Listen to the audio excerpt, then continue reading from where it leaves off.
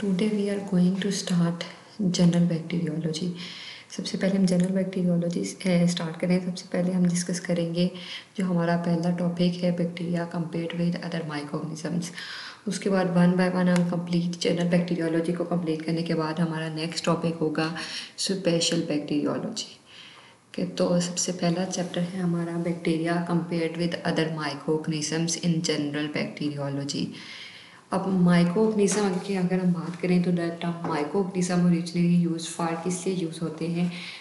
Organism which can not be seen with naked I we use microscope for their vision it include five groups algae viruses bacteria fungi and protist ठीक है, ये term simply हम माइक्रोनिज़म्स उन pathogens के लिए use करेंगे जो naked eye से विजिबल नहीं होते, जिनके लिए हम माइक्रोस्कोप यूज़ करेंगे। उसके बाद अगर उनमें से देन हम इन्फेक्शियस एजेंट्स की बात करें तो इन्फेक्शियस एजेंट्स मीन जो इन्फेक्शियस काज करेंगे डिज़ीज़ काज करेंगे ह्यूमंस में, उसमें एलजी इंक्लूडेड नहीं है। उसमें फाइव मेजर ग्रुप्स हैं हमारे पास इन्फेक्शियस एजेंट्स के। कौन कौन से हैं? They are bacteria fungi protozoa helminths and viruses protozoa and helminths they are also collectively called parasites इनको हम कलेक्टिवली पैरासाइट्स भी कहते हैं। अगर हम इन सारे एजेंट्स को कंपेयर करें, जितने भी एजेंट्स हैं तो इनमें से अगर हम देखें तो जो बैक्टीरिया हैं वो किंगडम प्रोटिस्ट प्रोक्रियोट से बिलोंग करेंगे। प्रोक्रियोट और यूक्रियोट आप पढ़ चुके होंगे। एफ़ एस में के दो किंगडम होते हैं major and fungi and protozoa के fungi and protozoa they are both the members of kingdom protist के प्रोटिस्ट से बिलोंग करेंगे एंड हेलमेंट्स ये एनिमल किंगडम में दे आर आल यूक्रियोट्स ठीक है इनमें हम बात करें तो जो बैक्टीरिया हैं प्रोक्रियोट्स हैं, बाकी fungi and helminths they are eukaryotes अगर हम इन फर्दर अगर हम देखें बाकी इन एजेंट्स में तो जो वायरसेस हैं they are quite distinct from other organisms why बाकी जितने भी पैथोजन हैं दे आर सेलुलर ठीक है they are called as cellular but viruses they are not cells they can replicate only within cells but they are not considered cells they are acellular pathogen ये important microbes हैं इनकी distinction हम बाद में देखेंगे, इनके कंपैरिजन हम देख लेते हैं।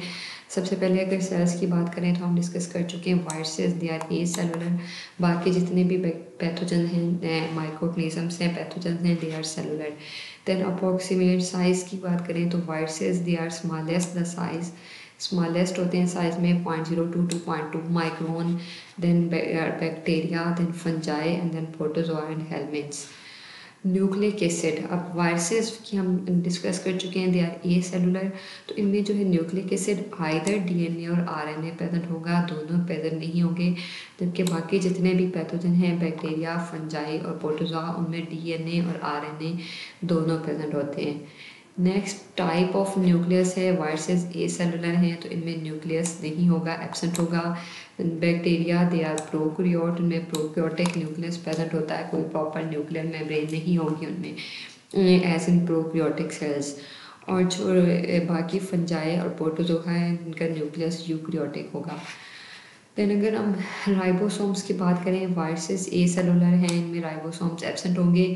बैक्टीरिया में प्रोक्रियोटिक राइबोसोम प्रेजेंट होंगे दैट आर सेवेंटी एस या फंजाई और यूक्रियोट्स में eukaryotic ribosomes eighty S ribosome present होंगे। ये सारी चीज़ें हम आगे फर्दर बैक्टीरियोलॉजी में डिटेल में भी डिस्कस करेंगे। अभी जस्ट मैं आप इनको, इनका कंपेरिजन बता रही हूँ।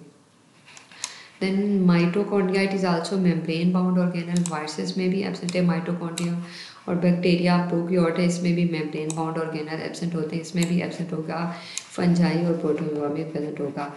नेचर ऑफ़ आउटर सरफेस अब वायरसेस जो हैं, इनकी ए सेलुलर होते हैं, इनका जो सिंपल सा स्ट्रक्चर होगा, अंदर इनके डीएनए और आरएनए होगा, और बाहर protein capsid and lipoprotein envelope present होता है। कोई सेल वॉल और सेल मेम्ब्रेन नहीं होगी इनमें। जबकि बैक्टीरिया में अगर हम देखें तो सेल वॉल होती है that is made up of peptidoglycan fungal cell wall contain chitin और प्रोटोजोआ और हेलमिस में सेल वॉल नहीं प्रेजेंट होती, इनमें फ्लेक्सिबल सेल मेम्ब्रेन प्रेजेंट होगी। मोटेलिटी की अगर हम बात करें तो वायरसेस ए सेलुलर हैं they are simply non motile fungi also non motile bacteria जो हैं वो कुछ मोटाइल होंगे और प्रोटोजोआ ऑलमोस्ट सारे मोटाइल होते हैं। मेथड ऑफ़ रेप्लिकेशन की बात करें तो वायरसेस का कोई प्रॉपर मेथड ऑफ़ रेप्लिकेशन नहीं होता। ये ए सेलुलर है, इनके पास अपनी मशीनरी नहीं होती डिवीज़न के लिए तो ये क्या करते हैं? होस्ट सेल से डिपेंड करते हैं। इंट्रा सेलुलर होते हैं, जिस भी होस्ट सेल में होंगे, वहाँ पे इनकी सिंपली रेप्लिकेशन होगी मल्टीपल कॉपीज बनेगी। बैक्टीरिया जो है वो बाइनरी फिशन से डिवाइड करेंगे, इनका मेथड बाइनरी फिशन होगा, जिसमें वन बैक्टीरियम सिंपली टू में देन टू फोर में डिवाइड होंगे और इस तरह एक सीक्वेंस से लोगरिथमिक ग्रोथ होगी इनकी फंजाई मोस्टली फंजाई बडिंग के थ्रू ग्रो करेंगे, उसके अलावा में माइटोसिस भी होती है और प्रोटोजोआर हेलमेंट्स में माइटोसिस होगी as like in eukaryotic cell अब अगर हम देख तो इनमें मेन जो डिफरेंसेस हैं थ्री क्राइटेरिया जिनकी बेसिस पे हम सारे पैथोजन को डिफ्रेंशिएट करते हैं. नंबर वन इज़ स्ट्रक्चर ठीक है? स्ट्रक्चर हमने डिस्कस किया, जितने भी सेलुलर स्ट्रक्चर हैं, उनमें न्यूक्लियाइड और न्यूक्लिक एसिड प्रेजेंट होता है, जो कि, जो इसमें डीएनए होता है, जो, जिसमें डीएनए प्रेजेंट होगा। Viruses they are acellular तो उनमें जेनेटिक मटेरियल आइदर डीएनए और आरएनए प्रेजेंट होगा। उनमें कोई साइटोप्लाज्म नहीं होगा। देन मेथड ऑफ़ रेप्लिकेशन की अगर हम बात करें तो जो सेल्स हैं वो इधर दे प्रोक्रियोटिक यूक्रियोटिक दो मेथड हैं binary fission for bacteria and mitosis by their cells उसके अलावा फंजाई बटिंग के थ्रू भी रेप्लिकेट करते हैं। इसमें prokaryotic cells mostly binary fission के थ्रू करेंगे यूक्रियोटिक सेल्स माइटोसिस के थ्रू करेंगे। इन कंट्रास्ट वायरसेस जो है, हमारे पास वो डिस्टिंक्ट हैं, वो ए सेलुलर हैं। उनका कोई प्रॉपर मेथड और एप्लीकेशन नहीं होता। वो सिंपली होस्ट सेल के अंदर जाएँगे डिसम्बल होंगे। मल्टीपल कॉपीज प्रोजनी वायरसेस बनेंगे, और इस तरह वो रेप्लिकेट करेंगे। देन उसके बाद अगर हम देखें तो बैक्टीरिया में जो सिर्फ़ दो क्लासेस हैं rickettsia and chlamydia which are intra cellular बाकी सारे एक्स्ट्रा सेलुलर हैं। अगर next is nature of nucleic acid उसकी अगर हम बात करें तो जितने भी सेलुलर ऑर्गेनिज्म हैं, उनमें बोथ ए और आर एन ए प्रेजेंट है, जबकि वायरसेस में आइदर डी एन ए और आर एन ए दोनों प्रेजेंट नहीं है। इसमें हम कुछ कंपैरिजन देख लेते हैं डिफरेंस बैक्टीरिया और वायरसेस का मेन टॉपिक हमारा बैक्टीरिया है सो इसलिए बैक्टीरिया को हम कंपेयर कर रहे हैं वायरसेस से। Number one is bacteria don't need host organism for replication. They are mostly extracellular. ये भी हमने पिछले पॉइंट में डिस्कस भी किया था कि बैक्टीरिया मोस्टली एक्स्ट्रा सेलुलर हैं। जस्ट टू बैक्टीरिया जो हैं, वो हमारे पास इंट्रा सेलुलर हैं, जो होस्ट सेल पे डिपेंड करते हैं। वो कौन कौन कौन सी क्लासेस हैं? Rickettsia and chlamydia all other bacteria are extra cellular लेकिन वायरसेस जो हैं, वो होस्ट सेल के अंदर ही रेप्लिकेट कर सकते हैं। They can not replicate independently secondly bacteria they are cellular they are consider living organism viruses को हम लिविंग ऑर्गेनिज्म कंसीडर नहीं करते जब तक कि वो किसी होस्ट में प्रेजेंट नहीं होंगे।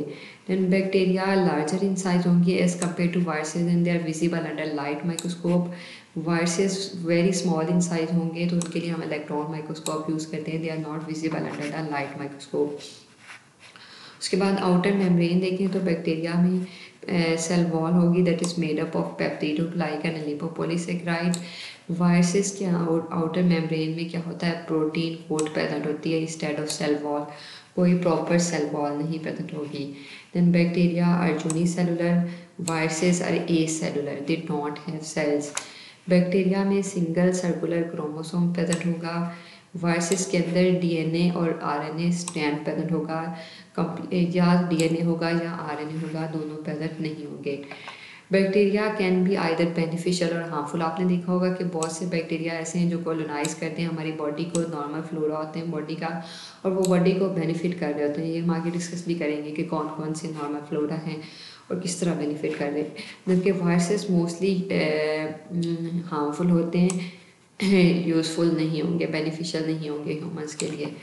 बैक्टीरिया जो है मोस्टली लोकलाइज इन्फेक्शन काज करेंगे। वायरसेस और मोस्ट सारे सिस्टेमिक इन्फेक्शन काज करते हैं।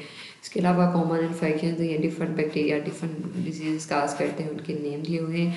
बैक्टीरिया को हम प्रिवेंट कर सकते हैं बाय एंटीबायोटिक्स ठीक है? वायरसेस के स्प्रेड के लिए हम मोस्टली वैक्सीन यूज़ करते हैं।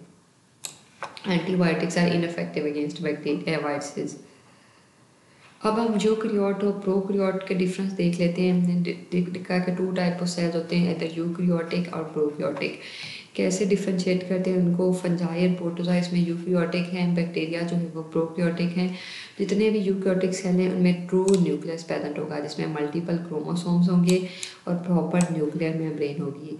जबकि बैक्टीरिया और प्रोक्रियोट्स का जो न्यूक्लियस उसमें को हम कहते हैं न्यूक्लियोइड उसमें न्यूक्लियाइड प्रेजेंट होगा ट्रू न्यूक्लियस नहीं होगा, जिसमें सिंगल सर्कुलर मॉलिक्यूल होगा और उसमें न्यूक्लियर मेम्ब्रेन प्रेजेंट नहीं होगी। नेक्स्ट अगर बात करें तो यूक्योटिक सेल में जो मेम्ब्रेन बाउंड ऑर्गेनल्स हैं, वो प्रेजेंट होती हैं mitochondria lysosome ribosomes larger size के होंगे। और जो यू प्रोक्रियोट्स हैं, उनमें कोई मेम्ब्रेन बाउंड ऑर्गेनल्स नहीं होंगे, उनके राइबोसोम्स का साइज़ भी स्मॉलर होगा सेवेंटी एस राइबोसोम प्रेजेंट होंगे उनमें। देन मोस्ट जो प्रोक्रियोट्स हैं बैक्टीरिया हैं, उनमें डिजिट सेल वॉल होगी, जिसमें पेप्टिडोग्लाइकन प्रेजेंट होगा। In the on the other hand eukaryote में पेप्टिडोग्लाइकन नहीं होता उनमें अगर फंजाए हैं, उनमें सेल वॉल है तो उसमें काइटन प्रेजेंट होगा और जो बाकी हैं हेलमेंट्स और प्रोटोजोआ उनमें just flexible cell membrane present होगी, उनमें कोई सेल वॉल प्रेजेंट नहीं होगी। उसके बाद जो एक और बहुत इंपॉर्टेंट डिफरेंस है यूक्रियोटिक सेल मेम्ब्रेन जितने भी यूक्रियोटिक सेल में ब्रेन है उनमें स्टीरोल प्रेजेंट होगा। अगर हम फंजाई की बात करें तो फंगस में जो स्टीरोल प्रेजेंट होता है that is known as ergosterol उसको हम अर्गोस्टीरोल कहते हैं। और जो ह्यूमंस में अगर आप देखें तो ह्यूमंस की सेल मेम्ब्रेन में कोलेस्ट्रॉल प्रेजेंट होता है। लेकिन जो बैक्टीरिया है, इनमें, जो प्रोबियोटिक सेल है, इनमें कोई स्टीरोल प्रेजेंट नहीं होता। Except for mycoplasma, कि no pro sterol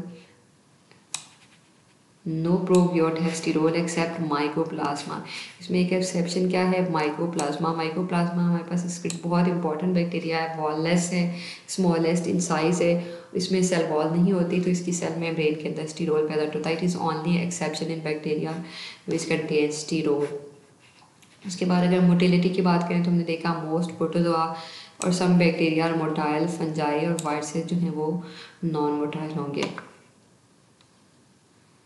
ये प्रोक्योटिक और यूक्योटिक सेल का कंपैरिजन है, हम ऑलरेडी डिस्कस कर चुके हैं। इसमें मेम्ब्रेन बाउंड न्यूक्लियस होगा मेम्ब्रेन बाउंड ऑर्गेनल्स प्रेजेंट होंगे। प्रोक्योटिक सेल में जैसे न्यूक्लियाइड होगा, कोई न्यूक्लियर मेम्ब्रेन नहीं होगी और इसमें मेम्ब्रेन बाउंड ऑर्गेनल्स जो हैं वो एबसेंट होंगे। देन अगर टर्मिनोलॉजी की बात करें तो आप पहले भी पढ़ चुके होंगे, हम मोस्टली जितने भी पैथोजन हैं इनको नेम करने के लिए binomial nomenclature use करते हैं। बायनोमियल नॉमन क्लेचर मीन्स दो नाम होंगे किसी भी पैथोजन के नंबर जो फ़र्स्ट नेम है वो जेनस को शो कर रहा होगा जीन को second show species for example E coli में ई जेनस है कोलाई स्पीशीज़ है। अगर आप कैंडिडा अल्बिकन में देखें तो कैंडिडा जो है वो जेनस है और अल्बिकन स्पीशीज़ है। उस, लेकिन अगर आप वायरसेस की बात करें तो वायरसेस में कोई स्पेसिफिक नेमिंग नहीं होती, उनमें सिंगल नेम यूज़ करेंगे जो मोस्टली उनकी डिज़ीज़ को इंडिकेट कर रहा होगा। Thank you and then next lecture में हम डिस्कस करेंगे स्ट्रक्चर ऑफ़ बैक्टीरियल सेल